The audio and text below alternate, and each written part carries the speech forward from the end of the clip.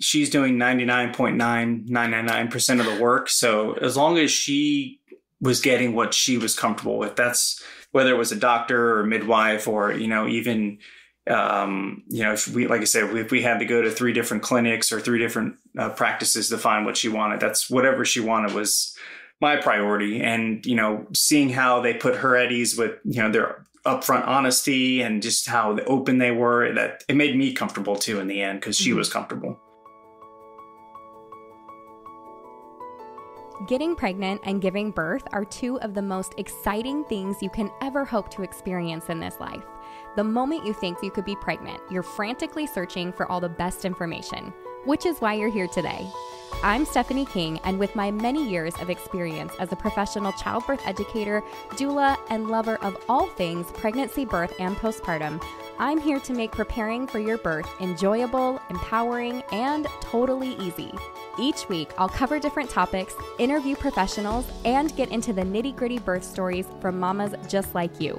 And when you're ready for more, you can join me in the My Essential Birth course at myessentialbirth.com, where I take you step by step through exactly how to prepare your mind, body, spirit, and partner for a birth you love. So let's get started.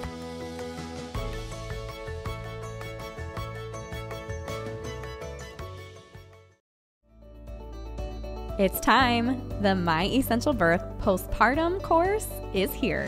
Whether you're pregnant, just got baby home, or weeks and months into postpartum, this is the course for you. No more wondering what's normal for your body postpartum, if baby's eating or pooping enough, or how to get a good latch. You now have an all in one resource where you can click a topic and get the answer. Learn more at myessentialbirth.com forward slash postpartum and add it onto the My Essential Birth course for even less when you bundle them at checkout. Already in the course? Check your student library and add the course for the same discount. I can't wait to support you on your postpartum journey. All right, our reviewer of the week is N Schmidt 4. She says, I am pregnant and thriving. Honestly, that's all I ever want to hear. I love it so much. But she says, Love, love, love this podcast. I found this podcast later on in my pregnancy, but so glad I did. We moved to a new state where we didn't know a single person halfway through my pregnancy. I was terrified knowing that I was going to be laboring without my mama there to support me and encourage me like she did with my other babies, and had to count on my husband, who, while amazing in other areas, was not so amazing in the labor and delivery room. I was about 34 weeks pregnant with baby number four when I stumbled across this podcast while desperately looking for encouragement and tips to get me through the labor and delivery process on my upcoming birth. I knew I wanted a natural, unmedicated birth after having three with an epidural in a hospital. Unfortunately, due to finances so close to baby, I was unable to take the birth course, but I binged these podcasts, and thanks to Stephanie, I had so much more knowledge and confidence in myself to stand up for what I wanted out of my birth, and I was able to teach my husband what I was learning and give him tips that we practiced and prepared. With everything I used from these podcasts, the help of a very supportive midwife, and my husband, I'm so happy to say that I gave birth to my beautiful baby boy completely unmedicated in May. Thank you, Stephanie, for everything you discuss and for reminding me almost every time I listen that all caps, I am strong and I can do anything I set my mind to as long as I've done the homework, practiced, and wasn't afraid to ask questions.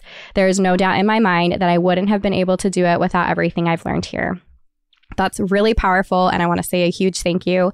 Yes, for those of you that are listening, um, if you're not able to jump into the birth course, whatever the reason, financial, you're a little late in pregnancy, whatever the case, um, binge the podcast that's what the information is here for. And yes, if you feel like your partner is not ready to go and up to par, well, I have the perfect guest for you today. Um, but also that send them podcast, shoot it over to them, get them involved, get them excited. Um, this is something you guys absolutely have an opportunity to do together. Um, and then for those of you who are thinking you want to jump in, there are two options. You can purchase the birth course in full, or there is a payment plan. So go check that out at myessentialbirth.com forward slash slash get started. For today, I have with me Autumn and James. Um, I'm going to give them just a second to introduce themselves here. Uh, but they are here because they've had an incredible birth, a great birth story to share with all of you. And I cannot wait to be able to hear this along with you guys. So, Autumn and James, will you take a moment, say hello, and introduce yourself? Tell us a little about you. Hi, um, I'm Autumn. And I'm James. And um, I am an avid My Essential Birth podcast listener. We're also um, course students, I guess you, you could say graduates. Um, we had our first daughter, Reagan, in November of 2022. Um, and it went so well, we just couldn't wait to share it with you guys. That's awesome. I'm so excited that you're here, honestly. Uh, will you, for a moment, just kind of walk us through your pregnancy? How how was it? Was it pretty textbook? Was there anything that stood out to you that you think would be helpful for other moms to hear? Yeah, it was pretty textbook. Um, I would say we had a very typical pregnancy. Um, found out that I was pregnant at about five weeks, um, just about five weeks after we got married. Um, really unplanned. It was unplanned. but we were excited and, um, you know, made it through that first trimester with the typical morning sickness, um, definitely a lot of exhaustion. I was working um, and I'm a teacher, so I was really just looking forward to not just second um, trimester, but also going on summer break so that I would have that kind of relief. Um, second trimester was phenomenal. It was such a breeze. I was not sick. I didn't have really any issues, passed all of my tests and blood work and all that good stuff with flying colors. Um, and then third trimester, again, very textbook the exhaustion hit again. Um, but outside of that, I don't really feel like we had like a wow, crazy pregnancy at all. so yeah. straightforward there. Well, that's pretty fun. Tell me maybe what was your experience with birth prior to getting pregnant? I'm curious to hear from both of you guys. Um, and at what point did you decide you wanted to do something to prep for it? And what sparked that interest for you? So I really um, didn't have any knowledge as far as like birth and pregnancy goes. Um, I had kind of always thought, honestly, that people that had natural births or that didn't want an epidural were kind of crazy. And I was like, why wouldn't you? Like, it's modern medicine. Why wouldn't we do that? Um, and then the second I got pregnant and started to really learn, um, because I found the podcast just um, in looking through, um, you know, Apple Podcasts, found the podcast, started listening, and just became engulfed in learning and couldn't get enough of it. Um, and it was at that point that I was like, oh, I'm doing this naturally. Like, I'm going to have a physiological birth. I really want to just rely on, you know, the new knowledge that I have, but also the power that I feel like my body possessed. So, my I guess knowledge of birth literally came all from the podcast. I had nothing before. My husband, on the other hand, yeah, my uh, my experience was slightly different. I'm a firefighter paramedic, so I've delivered Uh-oh. two babies in the field. So I was on the other end of it, like the traumatic end of it. You know, like I'm touching someone's baby. So to me, that's what I knew. I knew more clinical stuff. I didn't know what it would be like. I had no idea what it would be like to go through it with my wife being pregnant and her going through the ups and downs of pregnancy. So for me, it was a entirely different perspective. Even being in the delivery room, you know, I'm used to, like I said, I'm on the other side of it, you know, so I know the complications and things that can happen. But when it's your baby, it's it's a complete game changer. Like you're in a different mindset, mm-hmm. which was the biggest surprise to me, I guess you could say. Yeah, that's interesting. The only thing I have to like as an example because I've only been the person birthing myself, right? But as a doula, I remember thinking my first birth that I attended, I was like, I'm going to know exactly what this woman needs. Like I've had 3 births and I like I'm all studied up on it.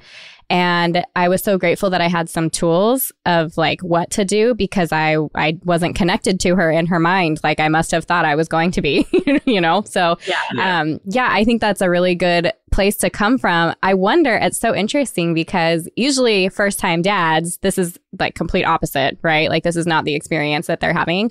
Um was there was it more now you've had like the traumatic experience, but was it more calming to be on the dad end or is it was it stressful? Yeah, I think in some instances like I don't get you know if she coughs or chokes on something, you know, I'm not jumping up and going, "Oh my god, oh my god," because I, right. I, know uh, those kind of things. But as far as being a dad, it's still a complete learning process. Like every day in and day out, you're just trying to figure it out. Hmm. But as far as like the medical side and God forbid if I ever had to do, you know, CPR or chest thrust or anything like that, like that's not, I'm good with that. It's hmm. the raising part. That's that's what I'm trying to figure out. Which yeah. hopefully I'm doing a good job. We're all just learning along the way. It's okay. Yeah, yeah. There, there's no uh, there's no book or podcast about being a parent. You guys prepared us but we're waiting for that part, the second part. Mental note, yeah. got it. Okay. Yeah. um, okay, talk to me about your providers. Tell me a little bit about your providers. Um, did you was it just like your regular OB? Like, did you change providers? Look, like interview a couple different. Like, what did your provider situation look like? So I um, went to like my typical OB provider. Um, the difference was that the OBGYN who I had been seeing for years and that I knew, you know, very well, um, he actually started his own practice like when I got pregnant. Um, and split off. And I was like, oh, cool. Um, so that kind of threw me for a loop. And I didn't even really realize that you didn't have to see a doctor, that you could see midwives. And so we went with the midwife route. Um, after listening to the podcast, um, I just kind of realized that that was the route I wanted to go with. I felt more aligned with the values of the midwives that um, the practice had. Um, so we did go to it's it's actually in a hospital. Um, and they have four midwives in the practice who we loved all of them. I mean, yeah, they were every even the doc. We got to meet them all. They were all fantastic. And mm-hmm. biggest thing for me was she was happy with mm-hmm. and comfortable with her provider. So that's I don't care if we went to you know four different locations, as long as she found what she wanted. That was kind of my end of it. Yeah, and I was going to be really specific about what I wanted. I think. um I pr- I probably am a little too type A, so I came in with probably I don't know 50 questions. um, I remember at one point um, we had an appointment. It was probably halfway through uh, the pregnancy, and I had done some research on their cesarean rate and all that at the hospital. And I was like, "Why is your cesarean rate significantly higher than the national average? Do you mind talking about that?" And um, I'm sure that I came off as like again type a um, but i just really wanted to know and i was always pleasantly surprised with their answers um, and always really had like happy to hear that they were on board with whatever my goals were our goals i should say. So they were great. We loved them. That's awesome. James what was your experience with that? When you met with the midwives did they put you at ease? Were you concerned at all about her being with midwives versus obs was there anything like that um, so I didn't really have a, a preference. I mean, she's doing 99.9999% of the work. So as long as she was getting what she was comfortable with, that's whether it was a doctor or midwife or, you know, even, um, you know, if we, like I said, if we had to go to three different clinics or three different uh, practices to find what she wanted, that's whatever she wanted was my priority. And, you know, seeing how they put her at ease with, you know, their upfront honesty and just how open they were that it made me comfortable too in the end because she mm-hmm. was comfortable. Yeah that's awesome. they were good about including you too for sure. Yeah yeah. They were like i said very open any very informative. If we had a, a question they would go above and beyond to answer it. Like it just felt like it was i don't know it just made it a little easier i guess you can say yeah you felt more at really ease. well. Yeah. Yeah that's awesome yeah. Never fails. So um, as as pregnancy continued and you're getting closer to your guess date did you have anything like talks of induction gbs were there like anything that popped up for you so the induction talk was only a thing with one of the four midwives. Um, and all the rest of them, I had made sure that it was a question I had asked every single midwife as we met with them. Hey, I'm not a high risk pregnancy. Everything's going great. Um, I did not have GBS. Um, and it's my first time, you know, my first pregnancy. There's no indication that I'll go or that there's no indication there will be an issue. So, will you let me go up to 42 weeks? And three out of four of them were like, heck yeah, that's totally fine with us. Like, as long as there's nothing wrong, like 42 weeks would probably be our cutoff, and we would obviously want to do an induction. But there was one that was like, oh no, at 40 weeks, we're going to induce you. And I was like, no, you're not. Yeah. Nice no, try. you're not. Like, um, so I had actually already had a plan. Um, this is probably not good medical advice. I was certain that if they did try to induce me, I would just schedule an appointment and then miss it. Yeah. Well, and you don't even um, have, like, even if they did try to, right? For those listening, like, you don't mm-hmm. have to schedule that appointment. You also exactly. do not have to go, but like, you, you have the opportunity to say no. Yeah. But exactly. whatever your and, fallout plan is, whatever works for you, it's your decision. Yeah. You get to choose. Yeah. Yeah. Yeah. So we, I was very adamant against an induction um, just because of all of the um, research that I had done. Um, and because their induction rate and cesarean rates kind of went hand in hand. So, yeah. um, yeah, so that was not an issue. Like I said, I was um, GBS negative, so that's good as well. Um, and I made it to about 39 weeks and five days, I think. So surprisingly, did not even make it past 40. So it wasn't even an issue. Nothing to worry about. but yeah. isn't it so nice to like have a plan in place so that either oh, way, yeah, that's really great. Um, did yeah. you happen to have cervical checks at any of your po- appointments later in pregnancy? And if so, what did those look like coming up to labor? I did not. I actually, um, they had started asking me um, at like 37 weeks, I think. Yeah, when I was at term, they started asking me if I wanted to do them. Um, and even when they did my GBS swab, they asked, Do you just want to do it real quick? And I was like, No, I'm not interested. It's not going to change the outcome, right? And they were like, No. So um, I actually did not have any. The first cervical check that I had was when I went in in labor. Awesome. So yeah. maybe we can start there. No, let's not start there. Okay. Talk to me okay. about before you got there. So, yeah. Oh, wait, no, no, no. Let me pause. Let me hear everything. I I did not want to skip this part, but that I I'm so excited to hear the birth story. Um, okay. but but tell me about the preparation that you did along the yeah. way. So that was kind of like all the background, all the information about your pregnancy. But as far as preparation, like when, how many weeks were you when you decided to dive into the birth course?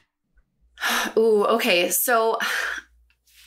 I think I was probably five weeks when I decided to listen to the podcast. And I was, it probably was one week before, like until I was like, okay, well, we're doing the birth course. so then it was just a matter. yeah. Um, so then it was just a matter of like waiting until um, we both had the time to commit to doing it. Um, and that we kind of wanted to wait until a little bit later um, in the pregnancy to actually do the course so that it was like really fresh in our minds. Um, so we probably started around I would say like 30 weeks. And we just kind of slowly went through it. Um, did it like a couple times a week, like twice a week. I think we would pull up some videos and um, some nights we would like binge it. And then other nights we would just do like one short thing. And um, so we did that a lot. I was really adamant about um, the three free exercises right from the get go. And then um, especially just being on the ball, on that birth ball we were watching TV for, I would say, probably like the last five weeks. I did it every single day. Um, as far as other preparation goes, we did a couple things um, that I felt like truly helped. Um, the first for me was labor rehearsal. Um, so every single time I would get in the shower, I would make sure that the shower was really warm and just really relaxing. I used these like, um, like steam scent things that would go in the on the shower floor. Um, and then i brought those to the hospital with me as well. Um, so the smell was very calming um, and just kind of like swayed in the shower and let that water just run down me. And i also in that time every single time i was doing those labor rehearsals was kind of like hyping myself up but also um, in prayer mode. So um, we're Christians, and for me, like God was going to be at the center of this birth. It's a huge part of the reason I really wanted to have a natural physiolog- physiological birth. Um, and so in that, you know, I would just constantly like try to let go and let God for, you know, not to be cliche, but lack of better words. Um, so that labor rehearsal and then i would say the second biggest thing um, was just being on the same page with james um, who stepped out to go get reagan. Um, but he and i had a lot of really good open honest conversations about what our expectations were after the baby came what my expectations of him were when i was in labor um, and just kind of talking through like what can you do to support me? Um, and I think that really, really prepared us. I mean, we got um, really deep in a lot, like a lot of these conversations, and it really paid off for us. That's awesome. Uh, I love so much of that. Where, first of all, the visualization, I think, I mean, it can't be expressed enough that if you have a time, whether you're using like one of the videoed labor rehearsals or like a focus, like every time I do this thing, I am imagining having a contraction, breathing into my belly, you know, visualizing yourself being in labor and working through it. Or, like you said, like, hyping yourself up, like that self talk that we do. And then same thing with like bringing God into it or whatever you're using to really um, center yourself and feel connected to your baby and your body in this experience all of that is so huge. I was very much the same way. It was like anytime I laid down, anytime I leaned back on the couch, anytime I was like laying down to go to bed, I couldn't help it. I was like always pretending. I'm like, okay, now I'm going to pretend like, you know, like I, it was just constant, constant. And I think there is something to that, you know, you really get yourself in that mode.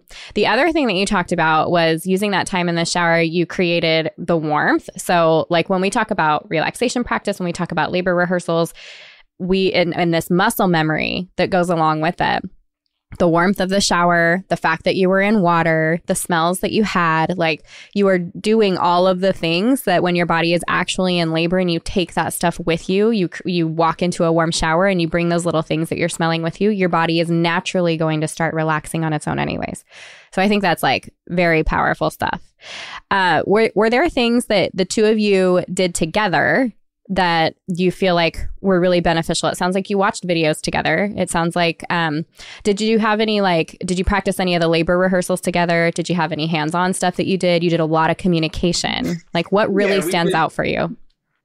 I remember uh, she was big on the exercise ball. So we did like some exercises and movements on that.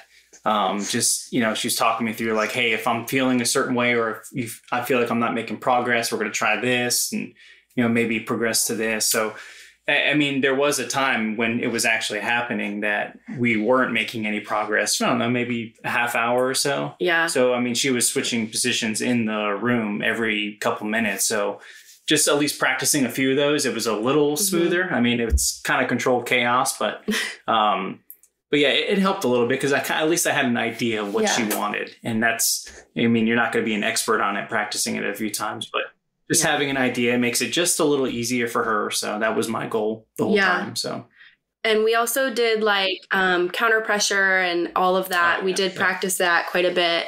Um, and just yeah, like you said, trying to practice doing all of these different positions because I knew that was my goal mm. was to just constantly be moving.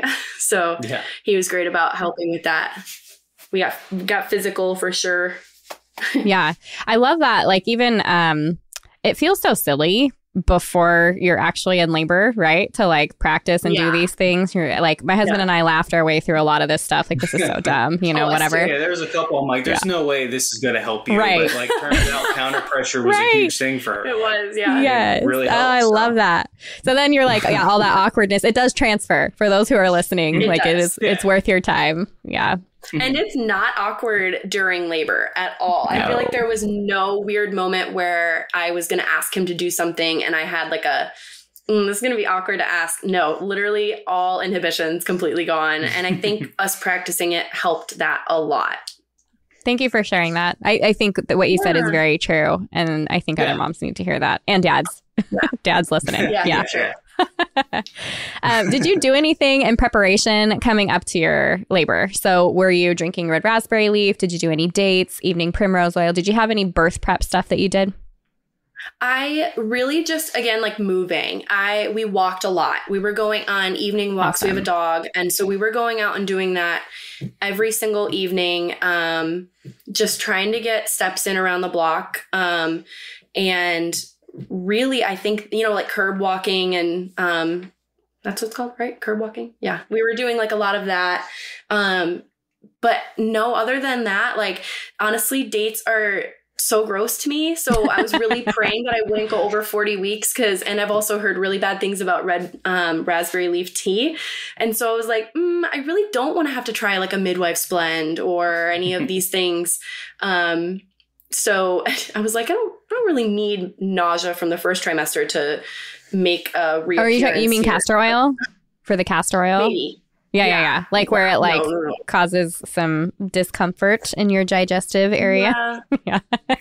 yeah, I was like, no, thank you. I, I Yeah. just don't want any of that. So thank God. I mean, had I gone, I probably would have gotten to 40 days and or 40 weeks in one day and then been like, all right, give me all the things. um, but that really wasn't an issue. So I just moved a lot. I mean, walking around, um, like I said, being on the ball, doing our exercises, all that stuff. Um, I just feel like really, really prepared me. Um, but luckily didn't have to take or do any of those other things. So That's awesome. Okay, so tell start from the beginning of your very first contraction. Where were you? What time of day was it? What was it like? were you by yourself? I mean, do you know with the actual first one? 'Cause I we mean- played them off for so long. It We seemed did. like um, like no, it's we're it's Thanksgiving. Like we just I just you ate too much. Yeah. Everyone's Oh my goodness. those, you know. yeah. Oh, this is going to be so good. um, it was Black Friday. Um, and he was actually working. I was home and I didn't really feel contractions, but I just kind of felt like Braxton Hicks, right? Like I was uncomfortable, but I was exhausted. I mean, like I could, I slept all day. I was probably up for only the amount of time that I needed to um, basically like walk the dog and feed myself. That was it. Um, and so Friday I was just so tired and I didn't really think much of it. I was like, oh no, am I getting sick? Well, then Thursday or I'm sorry, Saturday rolls around. And so this is now the Saturday after Thanksgiving. We were having um like a belated Thanksgiving with my dad's side of the family. And naturally, I ate like an obscene amount, way more. And she just was not having it. She was like, Nope, I want out of here. So I just remember, you know, like everybody's tired from eating too much. And we're like sitting on the couch. I have my head in his lap and I'm kind of like wincing, right? Like I've got like just this, oh, I'm uncomfortable, like period crampy. Hmm. Well, my Nana had tuned in on that. Nana was there, and Nana's watching me. And pretty soon, like after a couple of times, she's like, "That's ten minutes, Autumn." And I was like, "What?" so she's sitting there timing every time she love could see that I was uncomfortable.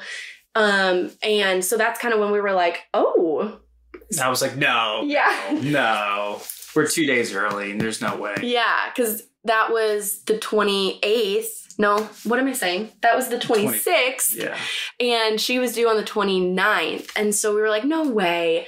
So, you know, we drive home. Well, we get in the car, and I don't know if it was just me being seated in the car or what. I was very uncomfortable then. And it was That's- like, oh, that's when I kind of started. All right, maybe this is it because like her demeanor went from like she's a little uncomfortable to like I'm I'm uncomfortable. uncomfortable. Yeah. Like, you can see it on her face.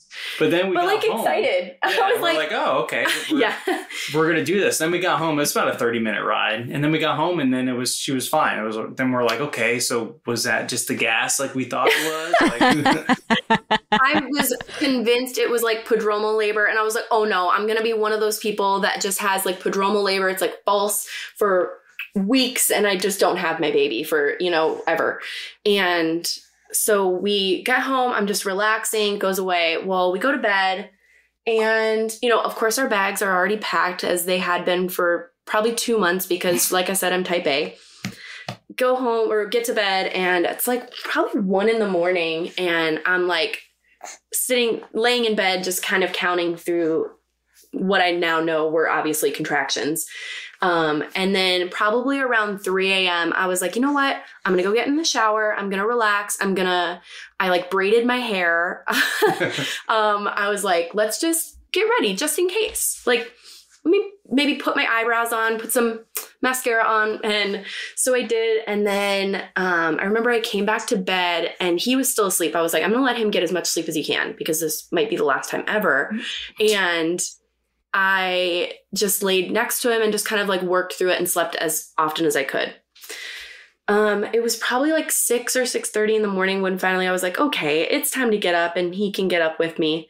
And we went for a walk, and it was when we were on the walk that my contractions went from being like seven minutes apart to being two and a half. Um, so it happened really quick, and we were like halfway around the block, and I was like, this little contraction counter has to be wrong, right? I was Um, like, you better not have this baby outside. We're not doing that. Yeah. But she didn't mention that she was also sick. Oh, I did she not She got like that. a head cold, so like naturally, of course, she couldn't breathe at Oh. all. Oh, she yeah, run a low grade fever, so Yeah. perfect timing on that too. Yeah. So I'm not feeling the greatest. And, you know, I, we get back home. Um, again, I lay down and my contractions spread back out again. And so then I'm like, oh my gosh, it, it just getting me. It can't be real because otherwise they wouldn't slow down this way. So, you know, he is all like, I don't want to deliver a baby at home. And I'm all like, I'm not going in till I'm eight centimeters dilated um, because I don't want, I don't want an epidural. Um, my biggest fear was that I would get there and they would send me home. Hmm. Um, and so I was being very stubborn. I will absolutely admit that. Um, it wasn't until probably like 10 o'clock, 1030 Mhm. when my mom actually came over to give me like the typical sick things, you know, like my Gatorade and chicken soup and stuff like that. And she was like, um, no, you need, you need to go to the hospital. So they convinced me and we Mhm. went and we were there by like 11 o'clock. Um, and I just remember like we walked in and it was like the front reception area and they just were like, hi, like, how can I help you? And I was like, um, I, I think I'm in labor. Where do we go? what do we do? Yeah, they're like, "You're in labor." We're like, "We think we think so." So then they put her in like a like a little eval room just to check see if she was dilated. And they're like, "Oh yeah, you are." I was five centimeters um, when we went in, um, which was kind of crazy. I think we both were really surprised by that. Mhm. Um, and the nurse was really surprised by it too. She told us later, she was like, I was really worried I was going to have to tell this poor girl, you have to go home, like, because you're not far enough dilated just based on how I was acting. And she was like, I was shocked when you were five centimeters. Um, because I guess I was just handling the contraction so well. But um, I just, I mean, I just was like breathing through it Yeah. and, and like excited, you know? And also, I think it helps that I was in such disbelief that I'm so stubborn that I was like, no, I'm not in labor. I'm not even 40 weeks yet. That doesn't happen. Right. Um, although obviously I knew that it did happen because I got myself educated. Um, so then we got into a room. We were in a room really quickly. It was yeah, probably only five minutes at that point. They were so slow, um, which was really nice for us because the nurses were just so terrific and gave us undivided attention when we needed it. Um, and they just kind of, you know, let us labor on our own and let us just hang out, um, hang out like it was fun. I mean, that's not necessarily the case, but um, they were very since I think there's only one other couple there, so they were like very like take you you time, like let her get in the zone, like mhm. we're That's right awesome. outside the room. If you need us, come get us. So they were very like hands off until like they had to be hands Yeah. off, which was what she wanted. She wanted to kind of do her thing, do her, uh, you know, her steam shower and things like that. So they, they, again, the hospital was great. Yeah. Um, speaking of the shower, I do remember at one point I was, I don't know, it was probably like two in the afternoon because we had got there at eleven thirty in the morning, probably like one or two in the afternoon, and I was like, okay, I'm ready to get in the shower. And he was like, Are you sure? Because that's like your big thing. Like that is your biggest coping mechanism. Do you want to pull that card and then like you're, you know, you're all out of um like magic helpers. Magic. Yeah. So I was like, oh crap, you're right. Okay, let's not. So we just tried it a couple different um positions and um and definitely that helped. And I probably got in the shower. I, I was probably at least nine cent like nine centimeters at that point. And I remember being in the shower and I had that steam going and I was so frustrated that I could not get the shower hot enough. Wasn't I? Yeah, it was, was- like 90 degrees in that room. She's like, it needs to be hotter. I'm like, you're going to burn yourself. Like, just, like, it's hot. Like, trust me. Yeah, I was like, I, I just need all the steam. I need the hot water. Um, but it still was so refreshing. And I luckily was not like hooked up to all the um I didn't have an IV an IV. I didn't have um monitors everywhere. I just had um like the Bluetooth monitor, I guess. Yeah, Like that's on the your wireless? stomach. Yeah hmm yeah wireless um monitor so i was lucky to be able to be able to move as much as i wanted um and so it was in the shower that I remember I looked at him and I mean, this is TMI, but I've heard so much more TMI on this podcast. I looked at him and I go, oh, I have to poop. he was like, What? Um, why are you like excited? He started laughing at me because I was like, oh my God, I know what that means. Like, I have to. That means the baby's coming. Should I try? And he was like, I, I don't know. Like, it was just so, it was so weird, but like just knowing that, oh my gosh, that means I'm so close. So at that point, the um, midwife and nurses came in. I went to the um, bed and they checked me and she was like, "Oh yeah, you're nine centimeters um, dilated," and I was like, uh, "Oh, okay." Or no, I, no, must have been more than that at that point. Um, but my water had not broken yet, and as she was checking me, um, my water broke, which is the one thing that I was like. Mm, that's a bummer because I just really wanted to um, deliver in the caul. Is that what it's called? Mm, and caul, yeah. Yeah, I don't know why, but like that was a dream of mine.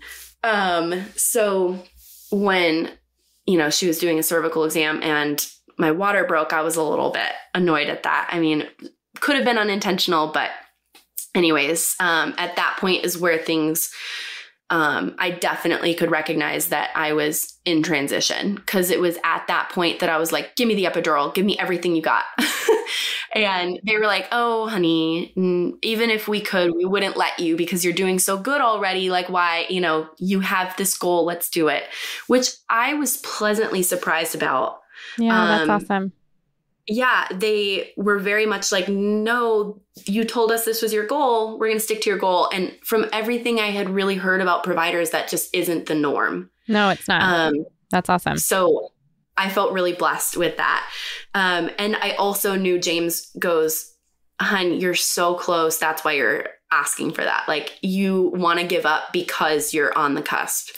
Um, and so that's when I was able to start pushing and we tried several different um, different positions. I ended up actually pushing on my back was the most comfortable for me, um, which I was very surprised about because I had kind of been like, you know, I don't want to push on my back. I just don't want to do that.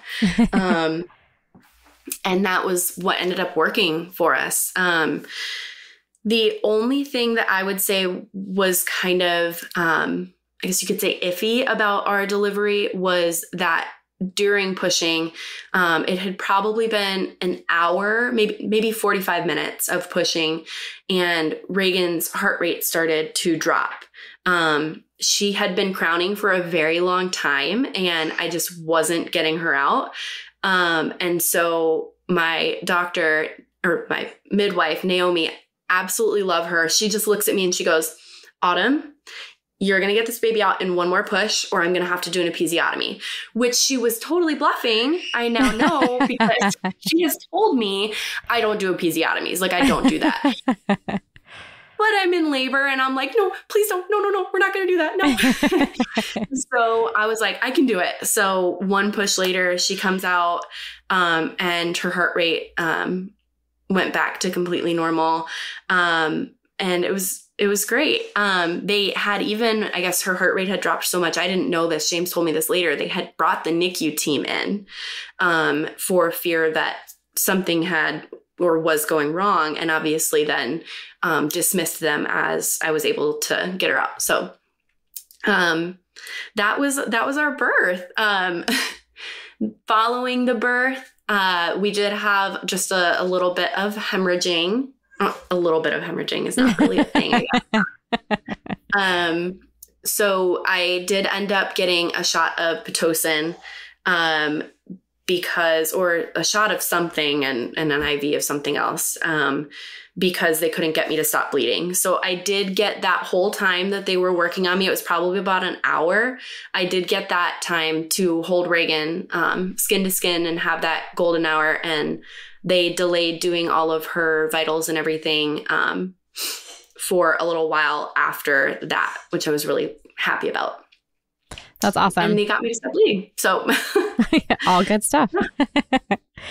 so, I wanted to ask you um, because I feel like it's just it's interesting to me, but I know other moms want to know too.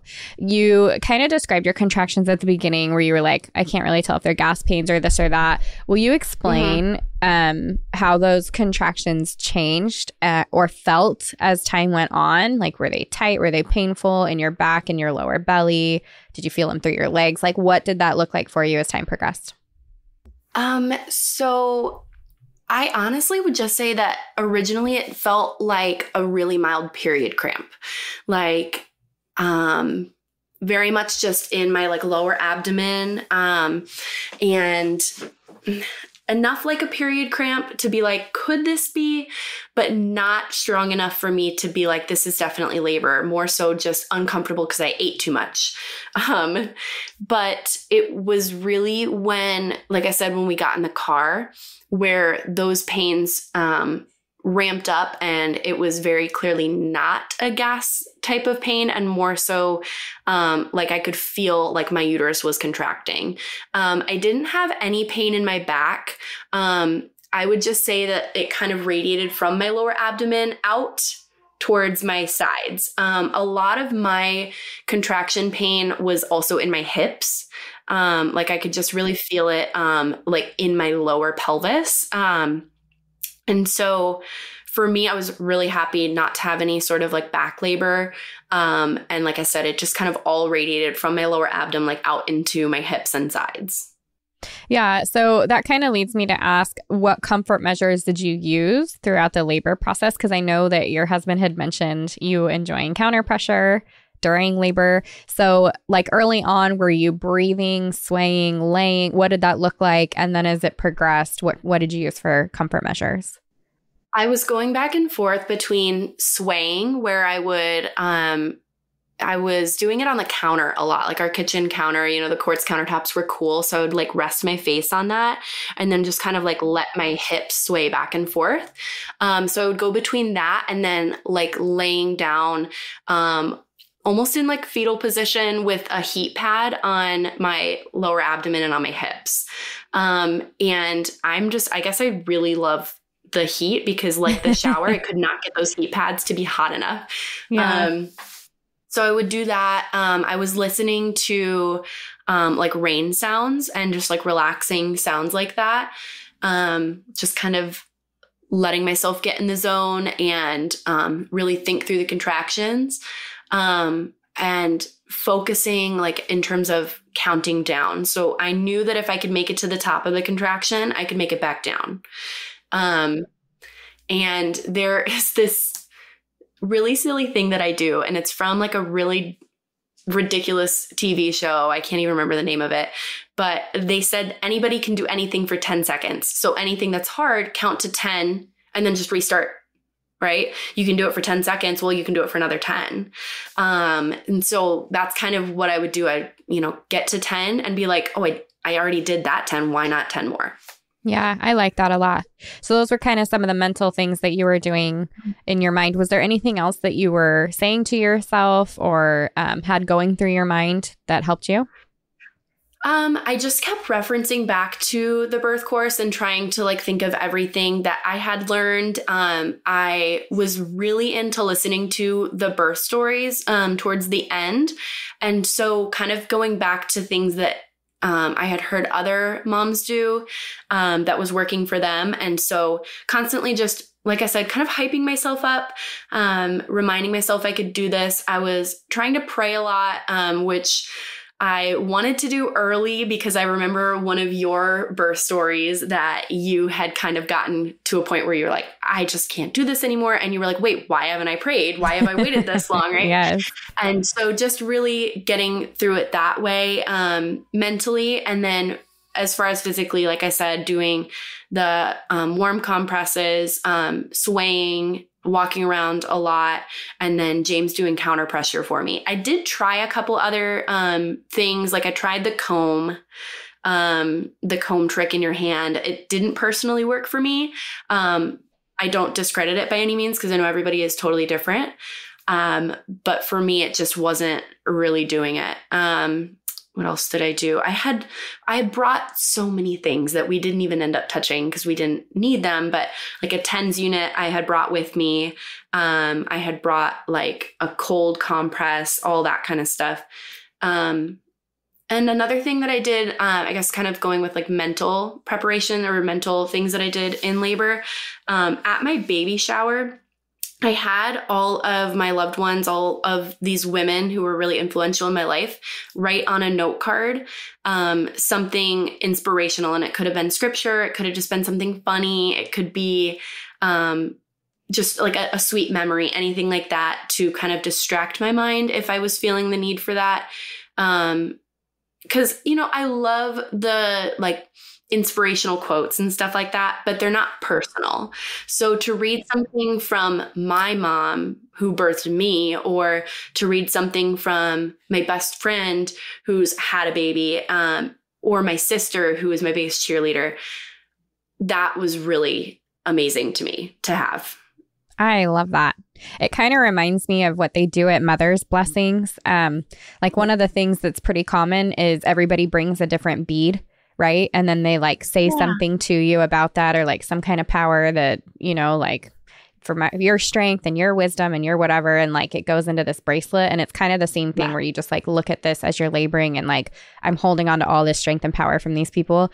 Exactly. I love that you personalized it like that. And you're going to have that like forever to be able to. Yeah. Like keepsake, you know, or use for your next birth or whatever. That's really cool. I really, really like that idea.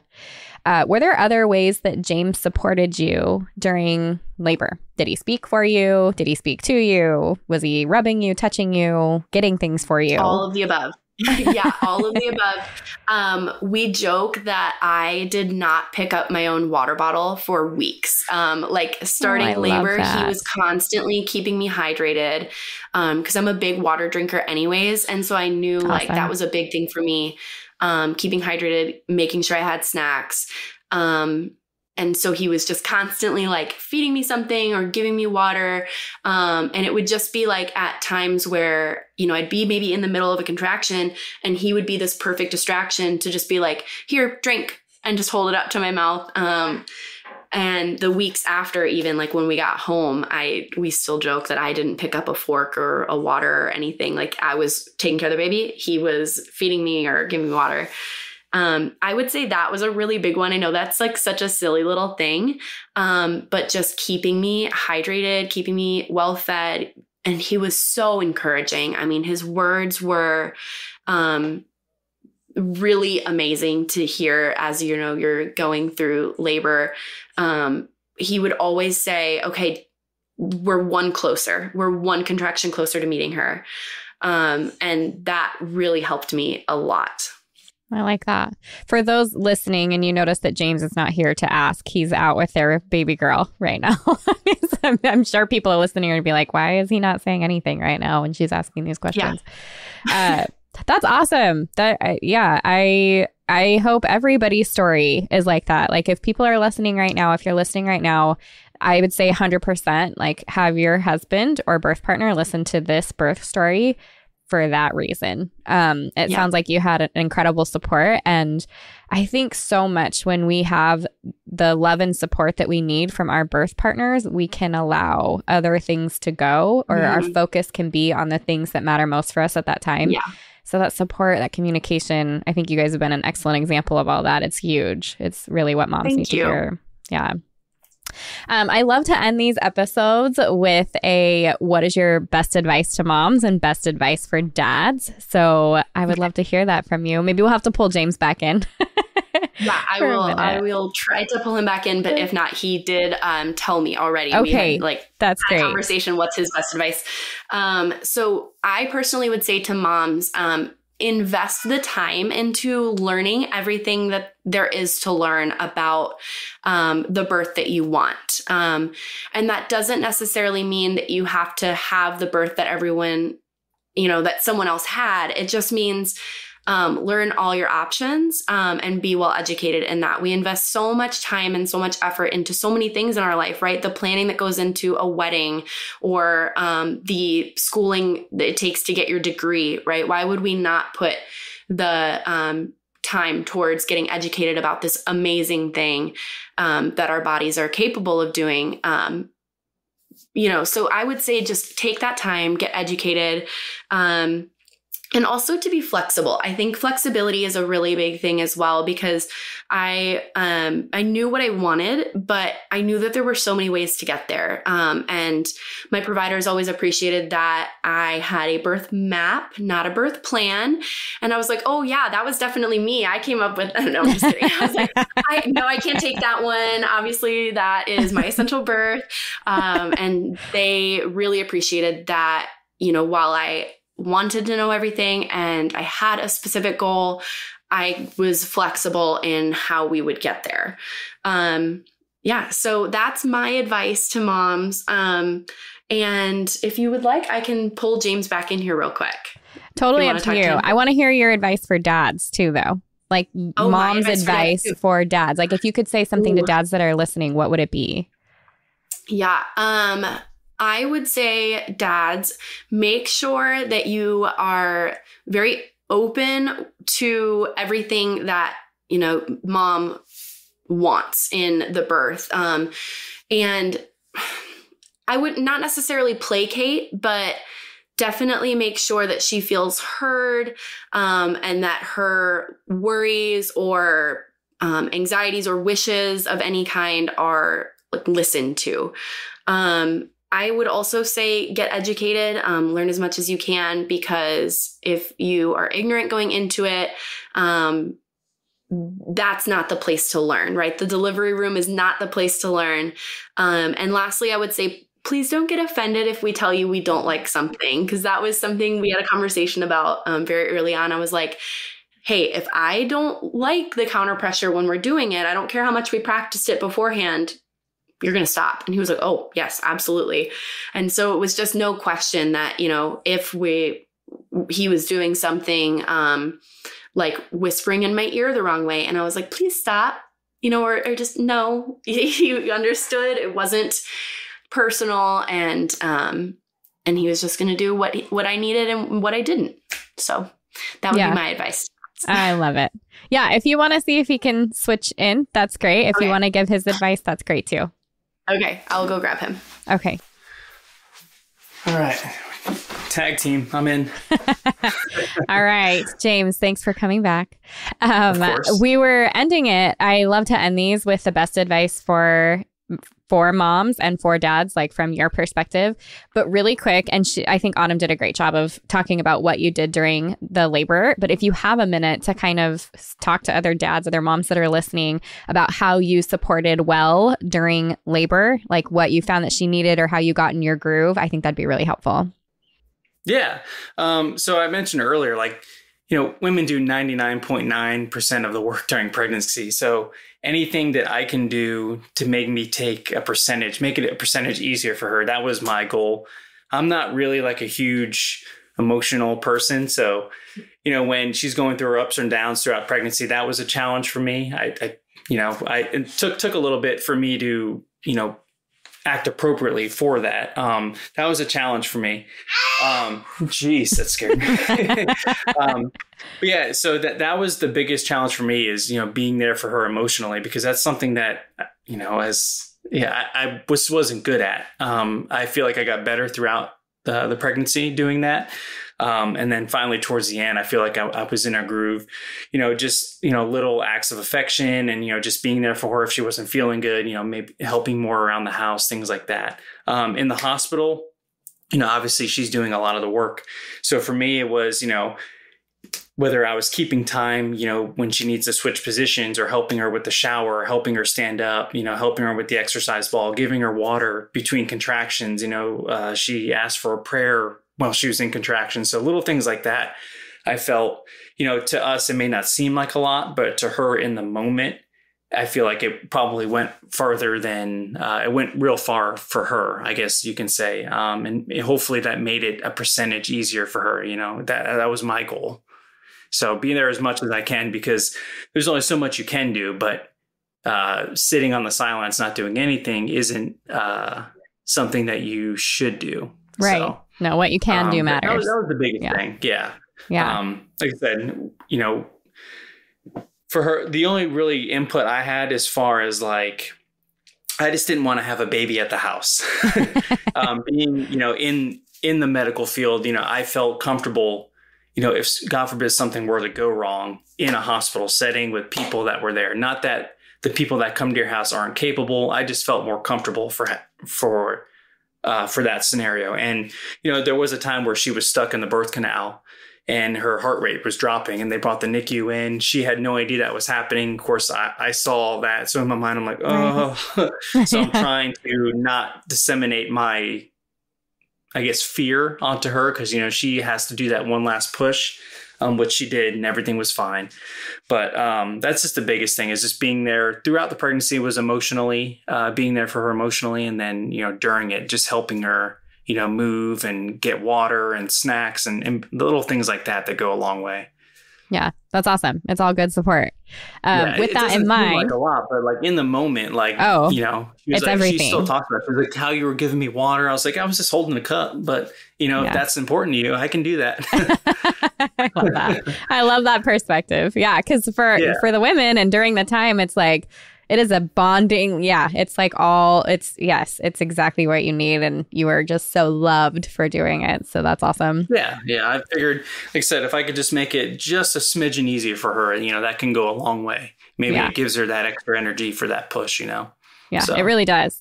Um, with all that in mind, what do mm-hmm. you have as far as your very best advice if you were talking to moms that are listening and your very best advice to dads? Um, I would say patience. Talking post baby or just in general? Like anybody that's that's listening to this birth story maybe coming up on their own pregnancy and birth experience, what's your what's your advice to them? Would you tell them um, work together, communicate? Like what stands out to you the most? Uh, definitely communicating. Again, I'm not a huge communicator. Autumn will say something to me. I'm just like, oh, I don't really know how to answer that. But communication is something that you have to do throughout the pregnancy because it's important to know what she wants. Um, again, the, the whole emotional aspect, being patient and understanding, you know, again, to me, it's just holding a cup, but to her, it's, you know, maybe life changing in that moment. Um, and the biggest thing is it's okay to be a little scared. Uh, it's, it's a big life change. Um, I was kind of, I love the idea of kids. Um, but I, I would never i felt like i was never going to like volunteer like hey let's have a kid. And it kind of just happened for us so i had no choice. I was like all right let's do this. So you know i always I, I was scared you know it's it's a big life change so it's okay to be scared but it's also the best thing that's ever going to happen to you. So you know, it's going to be tough at moments, but the good moments always far overshadow, you know, the lack of sleep you're getting, or, you know, if you had a tough day with the baby, those things are always secondary to, you know, the baby smiling or crawling and things like that. Like, so patience and communication are the biggest things for me because it's easy to get frustrated, especially when you're not sleeping a lot and things like that. So it's always important not to, uh, you know, pit like hey i changed five diapers you only did one like you're a team. So it's like we changed this many you know always it's never like one person's outshining the other. So always try and stick together as far as like everything you do is one as opposed to well i did this you did this i did more kind of thing. Because it's easy to do that especially when you're sleep deprived. So so true. um, that would be the biggest thing is patience i guess I love that. Well, thank you. And please tell Autumn I said thank you. I really appreciate you guys being here, telling your story, sharing your strength and experience. Um, because moms, she she had mentioned, you know, I loved listening to the birth stories, and now you guys get to be a birth story that other women yeah. get to listen to yeah, along the way. Very excited. She was an adamant listener. So that when you guys gave her this opportunity, it was it's been the highlight of her uh, past couple weeks. So that's I'll, awesome. I'll make sure she knows. okay. All right. Well, you guys have a great day. Thank you again so much. Thank you so much. Take care. If you loved what you heard today, the very best way to support this podcast and help other moms to find it is to leave a quick review. I read one at the beginning of the episodes, and I would love for yours to be next. And if you're ready for even more pregnancy, birth, and postpartum goodness, come join me in the My Essential Birth course at myessentialbirth.com, where I will hold your hand and walk you through pregnancy and birth step by step so you're totally prepared for a birth you'll love. See you next week.